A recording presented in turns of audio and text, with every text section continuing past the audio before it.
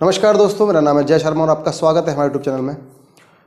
दोस्तों आ, मेरे पास एक आईपैड है आईपैड नाइन जनरेशन दो हज़ार इक्कीस का मॉडल तो दोस्तों कुछ टाइम पहले मैंने आईपैड लिया था और कुछ टाइम चलाने के बाद मतलब लगभग पाँच छः महीने चलाने के बाद मेरा ये आईपैड थोड़ा सा ख़राब हो गया था। इसमें कुछ प्रॉब्लम आ रही थी और ये बार बार जो इसकी बैटरी थी वो बार बार ड्रेन हो रही थी एकदम से ख़त्म हो रही थी बार बार तो फिर आ, मैंने इस आईपैड को ले जाकर सर्विस सेंटर में दिया एप्पल के सर्विस सेंटर में, जो कि कनॉट प्लेस में है, दिल्ली में। दिल्ली के कनॉट प्लेस एन ब्लॉक में है वहाँ पर। तो मैंने इस आईपैड को वहाँ पर दे दिया। और उन्होंने इस आईपैड के लिए और अपने बेंगलोर में, अपने जो इनका मेन ऑफ़िस है, जहाँ पर ये सारी चीज़ें जो रिप्लेसमेंट या रिपेयर होता है, वहाँ इन्होंने इसको भेज दिया। दोस्तों, एक हफ़्ते बाद मेरे पास कॉल आया कि आपका आईपैड वापस आ गया है। आपका जो रिप्लेसमेंट था या फिर जो रिपेयर था, वो कंपनी ने डिनाई कर दिया है। कंपनी इसको रिपेयर नहीं करेगी क्योंकि आपने इसमें कुछ इंटरनल छिड़काने की है।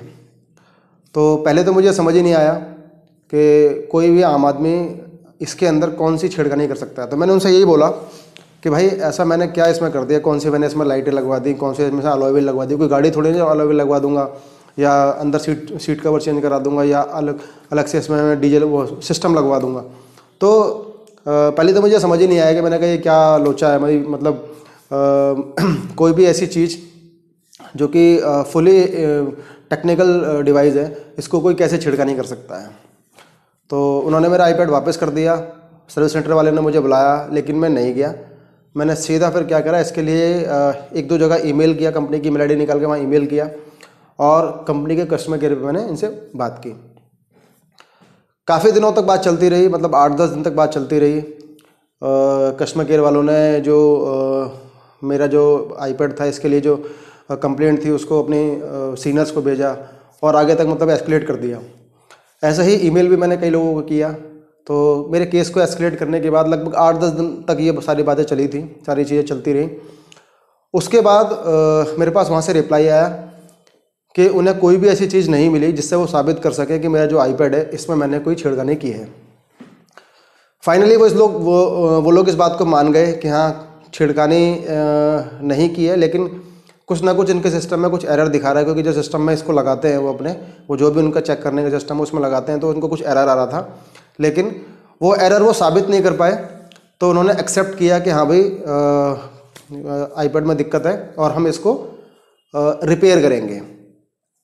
तो पहले उन्होंने रिपेयर के लिए एक्सेप्ट किया, बाद में फिर मेरे पास अगले दिन फ़ोन आया कि भाई हम आपके आईपैड को रिपेयर नहीं करेंगे, आप इसको रिप्लेस करेंगे क्योंकि रिपेयर हमारे यहाँ होता नहीं है।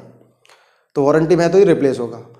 तो फिर दोबारा से इन्होंने जो आईपैड था, उसको कनॉट प्लेस में उनका सर्विस सेंटर वहाँ से बेंगलोर बुलाया बेंगलोर मंगाया। बेंगलोर मंगा के फिर उन्होंने जो आईपैड था मेरा दूसरा, उन्होंने वहाँ से डिस्पैच किया और तीन दिन के बाद मुझे मेरा ये दूसरा आईपैड मिल गया। अब जब भी आप रिप्लेसमेंट का यूनिट लेते हैं तो उसकी जो अनबॉक्सिंग होती है वो कैसे होती है, मैं आपको दिखाता हूँ।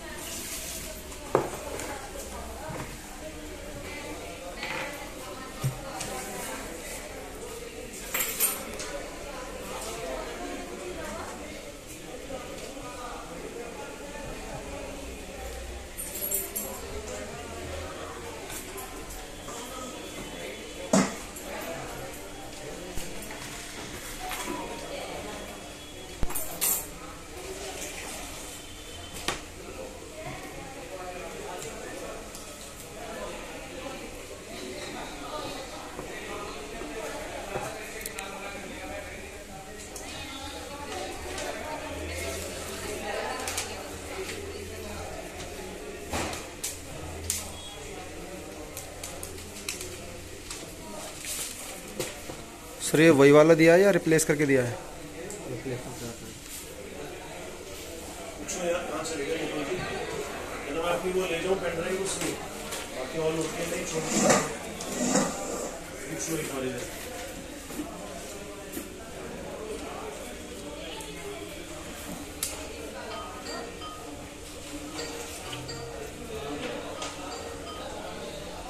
तो दोस्तों, आपने देखा अनबॉक्सिंग अच्छा दोस्तों जब आ, मैं डिवाइस को वापस लेकर आ गया और उसको मैं लगभग दो तीन महीने से यूज़ भी कर रहा हूँ तो जब मैं लेकर आया तो मैंने ये सोचा मैंने कहा ऐसा क्या हुआ कि जिसकी वजह से टेक्निकल एरर वहाँ पर शो कर रहा होगा? क्योंकि मैंने तो ऐसा कुछ यूज़ ही नहीं करा। कुछ भी ऐसा मैंने टेक्निकली या बाहर कहीं छुड़वाया नहीं इसको। तो मैंने ये चीज़ सोची मैंने कहा क्या ऐसा हो सकता है कि भाई जिन चीज़ों की वजह से ऐसी प्रॉब्लम आ सकती है? तो दोस्तों आ, मैंने अपने जो छः महीने इसको इस्तेमाल किया उस छः महीने के अंदर मैंने दो डिवाइस ऐसी थी जिनको मैंने इसके साथ में अटैच किया। मैं आपको दो डिवाइस दिखाता हूँ। इसमें कि एक डिवाइस तो मेरा ये आ, मैं ब्रांड नहीं दिखाऊँगा एक तो कीबोर्ड है ये। एक तो ये कीबोर्ड है जिसको मैंने जो ब्लूटूथ कीबोर्ड है इसको मैंने इसके साथ अटैच करके काम कर किया। कुछ टाइम तक यूज़ किया मैंने इसको। और एक ये माउस भी था ब्लूटूथ वाला। इसमें भी ब्रांड नेम नहीं दिखाऊँगा वो ठीक नहीं है। तो इस माउस को भी मैंने ये भी ब्लूटूथ माउस था तो इस माउस को भी मैंने इस्तेमाल किया। तो दोस्तों कहीं ना कहीं मैंने ऑब्ज़र्व किया कि हो सकता है ये दोनों चीज़ें एप्पल की नहीं थी अपनी क्योंकि एप्पल ये, ये कहता है कि भाई आप कोई भी डिवाइस यूज़ करते हो उनकी तो उसके साथ में जो एक्सेसरी यूज़ करते हो वो भी उन्हीं की आपको यूज़ करनी है। ठीक है? लेकिन आ, हम जो डिवाइस यूज़ कर रहे हैं जो ब्लूटूथ डिवाइस में यूज़ कर रहा था थी हैं ब्रांडेड लेकिन हो सकता है कि इनको यूज़ करने की वजह से कोई टेक्निकल एरर उनके सिस्टम में शो कर रहा हो। तो दोस्तों आ, मेरा ये कहना है आप लोगों से कि पहली बात तो ये कि अगर आप कोई चीज़ ले रहे हो चाहे वो एप्पल से ले रहे हो चाहे किसी और कंपनी से ले रहे हो तो सबसे पहले तो आपको हार नहीं माननी इन चीज़ों के मामले में। अगर आपकी कोई डिवाइस में प्रॉब्लम आती है चाहे मोबाइल हो चाहे कोई और भी चीज़ हो तो आपको फाइट करते रहना है। आपको ऐसा नहीं कि कंपनी ने बोल दिया आपने एक्सेप्ट कर लिया। आपको उसके लिए फ़ाइट करना है कि हाँ भाई मैं गलत नहीं हूँ गलत आप हैं आपका जो मैन्युफैक्चर डिफेक्ट है वो है उसकी वजह से इसमें प्रॉब्लम आई है। दूसरा आप कोई भी डिवाइस यूज़ करते हैं स्पेशली फॉर एप्पल एप्पल के लिए मैं कह रहा हूँ एंड्रॉइड के लिए मैं बात ही नहीं कर रहा एंड्रॉइड में तो लगभग सारी चीज़ें चल जाती हैं। एप्पल के जो यूज़र होते हैं एप्पल में जो आप जो आईपैड यूज़ कर रहे हैं या मोबाइल यूज़ कर रहे हैं, उनके लिए मैं सजेस्ट करूँगा कि आप कोई भी चीज़ अगर यूज़ कर रहे हो ब्लूटूथ या वाईफाई से कोई भी चीज़ अटैच कर रहे हो तो कोशिश करें वो एप्पल की हो या फिर बाहर की हो तो ना ही करें तो ज़्यादा अच्छा है। बाहर की चीज़ें मतलब जैसे कि और भी अदर अदर ब्रांड है जिसमें माउस या कीबोर्ड आप यूज़ करते हैं तो कुछ ऐसा यूज़ करें जो कि जिससे कि कोई प्रॉब्लम आपके डिवाइस में ना आए। और हो सके यूज़ ही ना करें तो ज़्यादा अच्छा है। अगर आपका यूज़ करना ही है आपको आईपैड के साथ कीबोर्ड यूज़ करना है तो फिर आप एप्पल का कीबोर्ड लेके यूज़ करें। हालाँकि महँगा आता है वो, लेकिन कहीं ना कहीं अगर आप उसे यूज़ नहीं करेंगे, आप बाहर के डिवाइस को यूज़ करेंगे, आप दूसरे डिवाइस को यूज़ करेंगे तो कंपनी कहीं ना कहीं आपके, आपका जो क्लेम है, आप जो वारंटी क्लेम करते हो, उसमें कहीं ना कहीं प्रॉब्लम कर सकती है। तो मेरा बस यही आप लोगों को बताना है कि भाई कोई भी चीज़ आप यूज़ कर रहे हो तो ध्यान से करें। एक तो कहीं भी हार नहीं माननी है आपको। अगर मान लीजिए कोई आपसे मना करता है, कोई प्रॉब्लम आपकी चीज़ों में आ रही है तो उसको आप और वो चीज़ें वारंटी में हैं तो आपको फाइट करनी है। दूसरा, कोई भी चीज़ आप ले रहे हो तो बाहर से चढ़कर नहीं करानी है। और तीसरी चीज़ जो डिवाइस आप यूज़ करते हो, उसके साथ में कोई भी चीज़ आप अटैच करके यूज़ कर रहे हो, जैसे माउस, कीबोर्ड या कुछ भी चीज़ें, या कोई पेंसिल यूज़ कर रहे हो तो कोशिश करें वो ब्रांडेड हो, अपने जो कंपनी की हो तो ज़्यादा अच्छा है। और बाहर वैसी अगर हो जो सस्ती वाली मिल जाती हैं, वो कोशिश करें, ना करें तो ज़्यादा अच्छा है। अदरवाइज़ आपके प्रॉब्लम आपकी जो डिवाइस है, उसमें प्रॉब्लम आएगी। और कल को फिर जैसे आपको, जैसे मैं भागता रहा पंद्रह बीस दिन, वैसे ही फिर आपको भी भागना पड़ेगा। तो ये था मेरा आज का वीडियो ये मैं आपको समझाना चाहता था कि भाई, कोई ऐसी दिक्कत आती है तो आप इस तरीके से कर सकते हैं। आप ईमेल करके, आप कस्टमर केयर पर बात करके उन चीज़ों को सॉल्व कराने की कोशिश कर सकते हैं। तो ये था मेरा आज का वीडियो अगर आपको वीडियो पसंद आया तो वीडियो को लाइक कर दें। हमारे चैनल को सब्सक्राइब कर दीजिए। और अगर आपको वीडियो पसंद आया तो आप हमारे वीडियो को शेयर भी कर सकते हैं। धन्यवाद।